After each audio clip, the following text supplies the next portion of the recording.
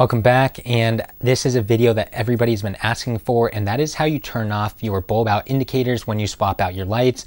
You add LEDs, HIDs, um, you know, you change things up. Uh, as soon as you deviate from what the truck came with, uh, it will start throwing bulb out errors. You can try to use resistors, which sometimes works. Uh, I use resistors on this truck. Uh, I started with quad headlights and then I switched over to a retrofit. So I was running HID for low beam and high beam and then I also had a HID or excuse me, an LED high beam uh, in here as well. And then I've got the custom lighting, of course, which you can see here from Diode Dynamics. Um, so there's a bunch of stuff and the resistors didn't wor really work all that well. Um, for the most part they did, but I ended up with like something ridiculous like 12 or 14 resistors uh, in the truck just to be able to run my headlights, which was insane. Um, and still, on very rare occasions, I would get bulb out errors. So using Alfa OBD, uh, we're going to be turning off uh, those errors and we're going to tell the truck basically that we have HIDs or LEDs um, so that way you don't have those problems anymore and you can take your resistors out. Now I had resistors for my fog lights, my headlights, both low beam and high beam, the high beams um, and the turn signals and the running lights. So I had all sorts of resistors and it was chaos in there. It was wiring hell. Um, but as soon as I installed Alfa OBD and I changed that the settings in the truck, I pulled all of those out and it's been working flawlessly for several months now. Um, so we'll go through and try a couple different things for you. Um, because I did switch from the uh, quad headlights to uh, the projector style here. I'm not sure uh, what settings that's going to mean for you, um, but I'll at least point out the various settings in there so that way you can change them and you can change it back, of course, if you need to.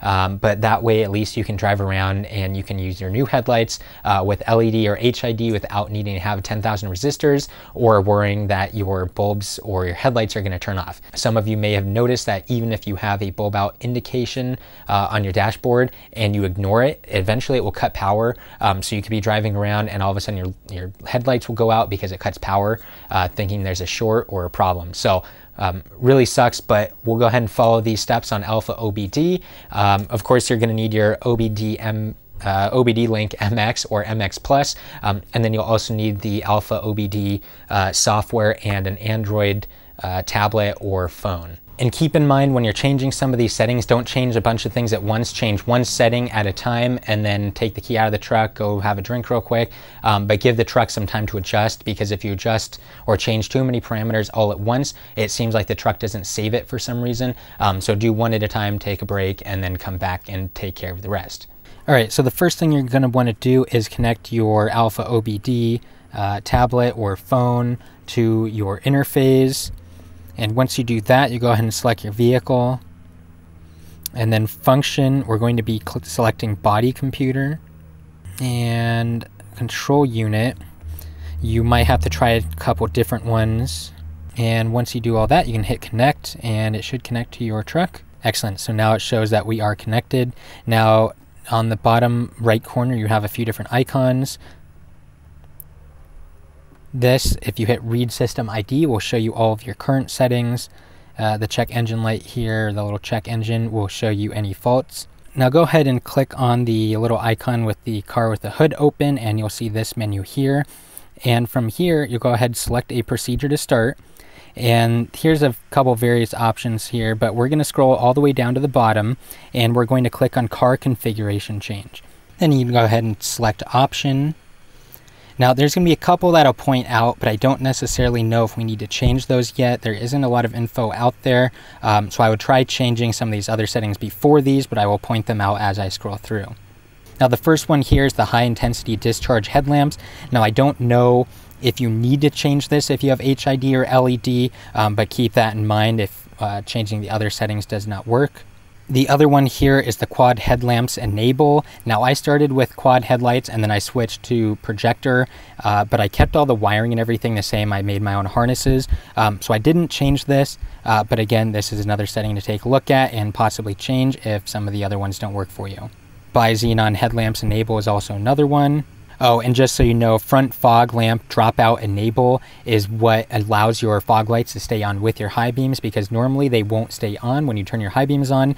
Um, now, some people try a method where they flick the high beam stock a certain way. It's never really worked for me. Um, but also keep in mind that depending on where you live, that might not be legal to have six headlamps or forward facing lights on all at the same time. Now, once we get down to the LED uh, present settings is where most of our changes are, are going to be made and where I made my changes. So reverse lamps, the stop lamps, the turn signals, all of them are all right there. LED front turn lamps pre present. Uh, of course, that's if you're going to have switchbacks or LED bulbs in the front of your vehicle. Um, so go ahead and enable those. And then the LED low beam and the LED high beam are what I have as shown as present or enabled. Uh, and so that way it's not looking for a higher uh, amperage or wattage draw from HIDs or regular bulbs uh, since LEDs draw less power. So realistically, those are the settings that you're going to be wanting to take a look at and make sure you change. Um, again, make sure you make any changes to the truck that you want to do one at a time and then go take a break um, because otherwise it might not save it. So make sure you do that.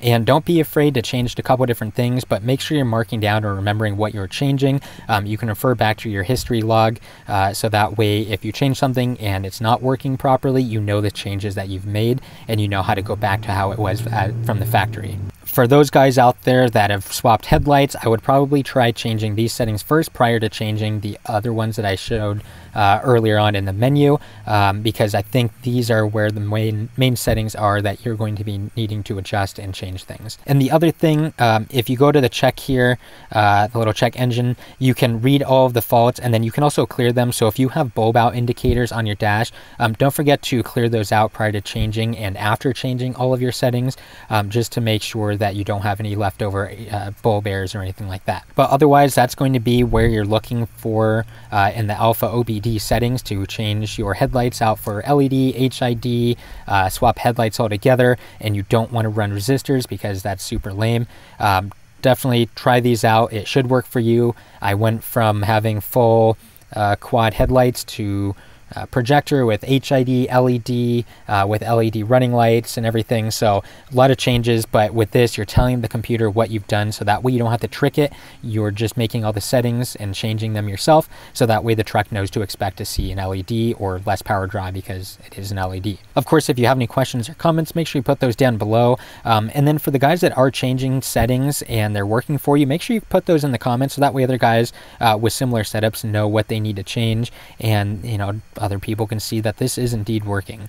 And of course, thank you for watching. Uh, I hope this solves your issues for uh, when you switch from your regular headlights to LED or HID, or you run completely different headlights altogether. Um, of course, this works for the fog lights and the tail lights as well, which I'll have those in another video.